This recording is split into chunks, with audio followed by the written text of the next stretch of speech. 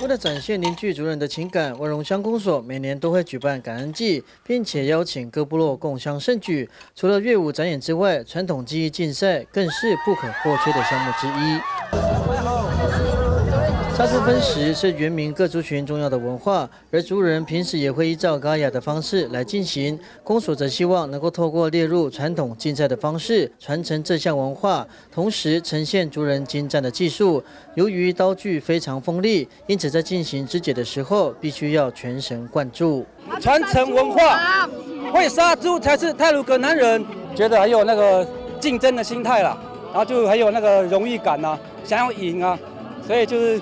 觉得蛮刺激的这样子，所以说这次要比快也是比安全，对不对？对对对。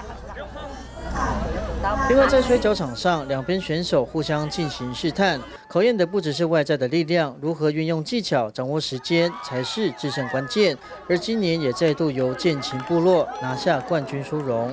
先攻击性，哎，然后试探对方，然后如果对方有攻击，我们可以用我们的小技巧。反转，把人家扳倒这样。哎，那我们这些选手都是有在训练过的，要蝉联八连胜没有问题啊。织女们熟练的进行织布的功效，看似简单的动作，而背后都需要历经长时间的磨练，才有办法织出一件到地的德鲁古织布。我们只要上机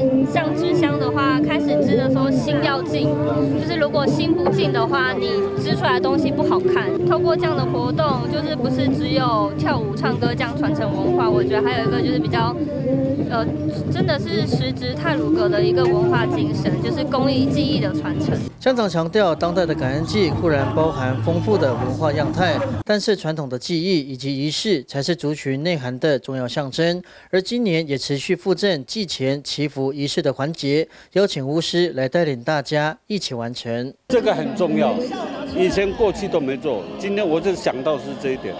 从去年我们就已经做了，让族人都知道有这么一个环节的一个动作。他得知说先人都很高兴，办这活动很棒。今年在会场也特别扩大规划文化场域的部分，重现过去祖先们的生活样貌。而针对族人反映动线不明确以及区域划分过于狭窄的部分，公所则表示明年会精进检讨。于是，选择了贝子会连万荣采访报道。